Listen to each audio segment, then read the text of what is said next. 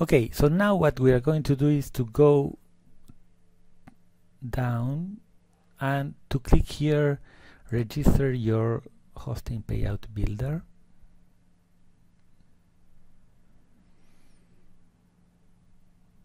And here we are going to create our site. So first we are going to click here create my site.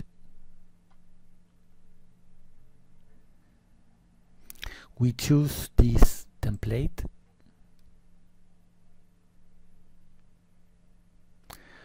okay so now uh, we are going to create uh, the site. So the site title can be um, let's say the name you want to give maybe hosting deals.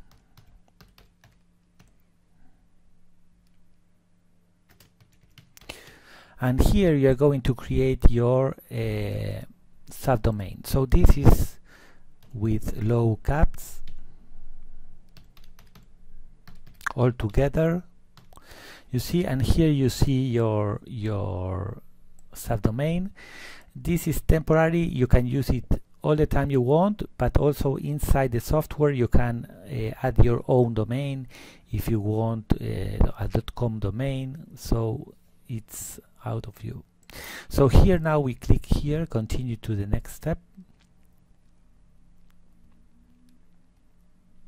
Okay now you put your username for this we are going to put test demo here we are going to put your PayPal. Why your I put your PayPal? It's not uh, so important, but we can see that uh, in the sales that your email is about a person that already paid. So it's better put uh, the same email, but there is no not problem to put another.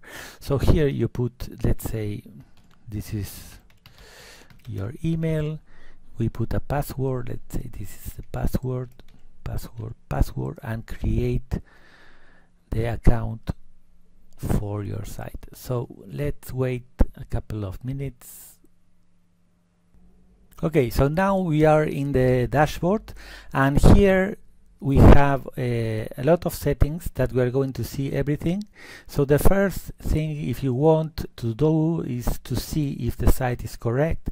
You can see uh, the site how it's look. Okay so you see here you have the host page the first page I mean. Here you have the, the tables here you have the comparisons the articles the questions and the footer. So also here you have the top 10 hosting all the reviews the deals and the blog and about us. So this is uh, the site. The site is looking very well. So we are going go, uh, now back to the dashboard. Okay so now we see that it's all correct. So in the next video we are going to see what is the way to manage all our affiliate links